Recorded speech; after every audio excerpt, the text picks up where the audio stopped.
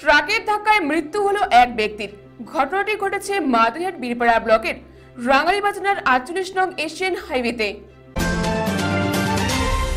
গত শুক্রবার মাদারিহাট বীরপাড়া ব্লকের এশিয়ান হাইওয়ের ওপর রাঙালিবাজনায় পথ দুর্ঘটনায় মৃত্যুর পর এক সপ্তাহ যেতে না যেতেই রাঙালিবাজনা গ্রাম পঞ্চায়েত এলাকাতেই এশিয়ান হাইওয়ের ওপর বৃহস্পতিবার ট্রাকের ধাক্কায় ফের এক পৌরের মৃত্যু হলো। এদিন রাঙালিবাজনা গ্রাম পঞ্চায়েতের দলদলিতে ট্রাকের ধাক্কায় মৃত্যু হলো এক ব্যক্তির। তার পরিচয় জানা যায়নি। কোনো এক গাড়ির ধাক্কায় উক্ত ব্যক্তির মৃত্যু হয়। ঘটনাস্থলে মাদারিয়া থানার পুলিশ পৌঁছে মৃতদেহ উদ্ধার করে নিয়ে যায়। ঘটনার তদন্তে নেমেছে পুলিশ।